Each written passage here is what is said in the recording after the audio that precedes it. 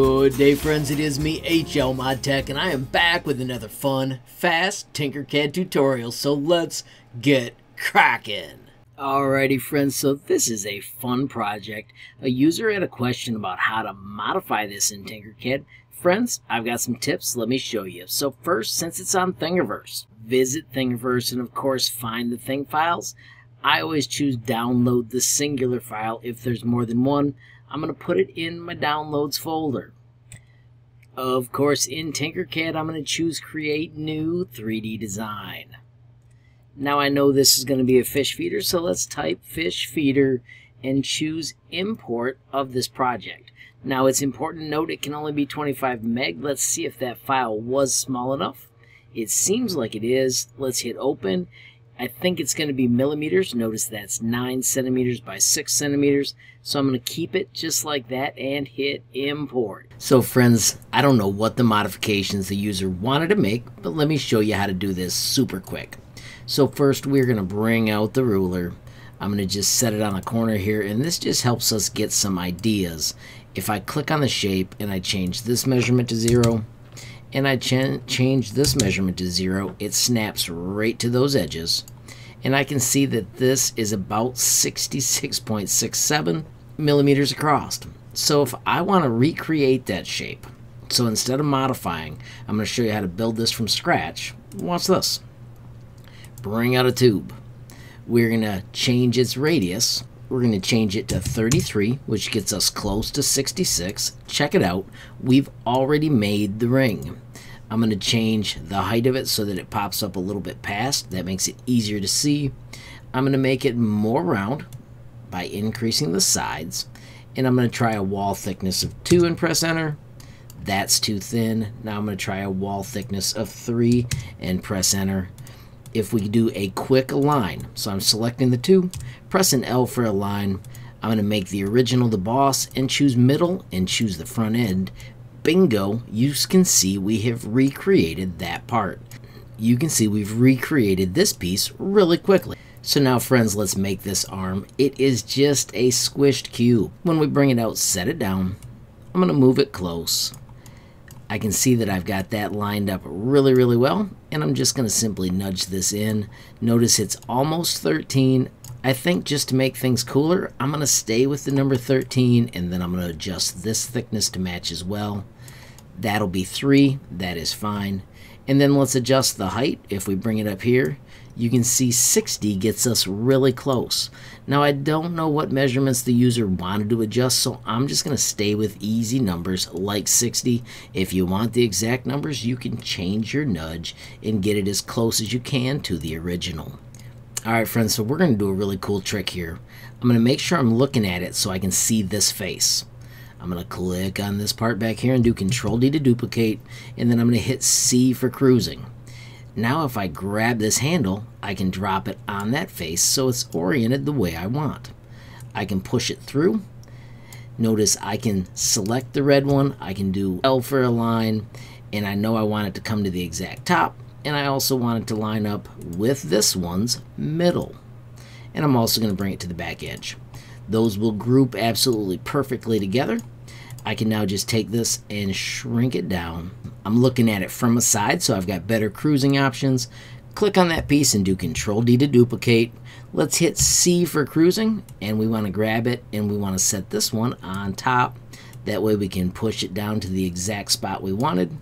I'm going to nudge it out with the arrow keys. That looks pretty good and I'm going to bring it down just like that. I'm going to copy this one right up here by doing Control D, C for cruising, and then I'm going to cruise it down, and this one I'm going to set on that front edge, and we can just push it back in. One of the nice things about Tinkercad is these will join, so you don't have to be absolutely perfect. You can just nudge it in, get it to the exact distance, and bring it back. Now, if you want to do this final corner, watch this. We can do work plane. I'm going to use the other angle and I'm going to bring out this box and I'm going to set it on that work plane. Now I can grab this black handle to stretch it out. Let's hide our original part. Friends, I'm going to put the work plane back down on the ground. Let's hide this for a moment because I don't really need it grouped. But if we do Control G, that groups. And if we do show all, you can see that lines up pretty darn awesome. So friends, I wanted you to see how easy it was to rebuild that. But watch this. Here's how you'd modify it. I'm going to break this into two pieces. So I'm going to make a second duplicate. I'm going to make a bottom half and I'm going to make a top half. So that way we could stretch and adjust as needed. If you need more intense modifications, you would just do this same technique to larger parts. So first, let's separate the top. I'm going to set this on the bottom. I'm going to stretch it across. Make sure this cuts out right here. And this is going to be the top chunk when I do group. Now I'm going to make the bottom chunk. It's the same trick. This time, I'm going to bring out the cube right here. Notice I'm keeping this little tongue part, whatever it was for stretching those black handles, making it go larger.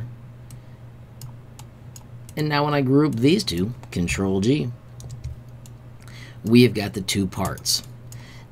Alright, so let's line these up. Once again, W is for work plane, and we want to set it right there. If we do D to drop, that gets the height right. I'm also going to shift select this, and let's choose align, make this the boss. And of course, we want the middle. And if we go to the front edge, that gets it close, then we can just bring it out with our nudge. If you do shift nudge, since I've got it on that point one, that gets it so it lines up closer. All right, friends, I got a trick for seeing if we can get this to line up perfectly. What we're going to do is we're going to shut off the grid, bring out our ruler, and we're going to set the ruler right on that corner. And if we change these measurements to 0 and 0, it should snap right to that edge if we had the dot good. Now it looks like I missed my dot, so I'm going to get a little closer. Notice it had the blue lines to show that I finally was perfect. Once again, zero enter. And we got to zoom way out to find this. Zero enter. And let's double check and see how well that lined up. I'm going to put the work plane on the ground. And now when we do Control G, check it out. We did that without a seam. Now I might have messed up this. Let's ungroup quickly and see if I nudged it left or right. I'm going to do that L for align. And once again, I want this to be the boss. And let's check that center again. And now let's group it. And we got rid of the seams on every side.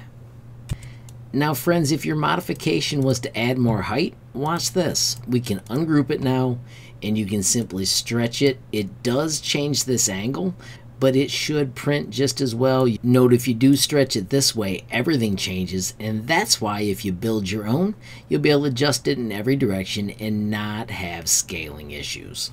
I'm going to hit Control Z to bring that back to how it was, and then of course I'm going to do Control G to group our modified part. Let's shut off that ruler, and then friends, I do like to always finish by going to Settings, picking a cool color. Let's go aquarium color because this is for a fish tank. And I'm going to shut off that grid and then click right here so you can check out our final creations. Friends, if you enjoyed this video, please give it a like. Please also hit that share button so more people can learn about HL Mod Tech. Of course, if you got a question, comment, or suggestion, add it down below. And if you haven't subscribed yet, what are you waiting for? Smash that subscribe button. And last but not least, hit that notification bell if you want to be the first to know when there's a brand new video from me, HL Mod Tech. Thanks for watching. Have a great day.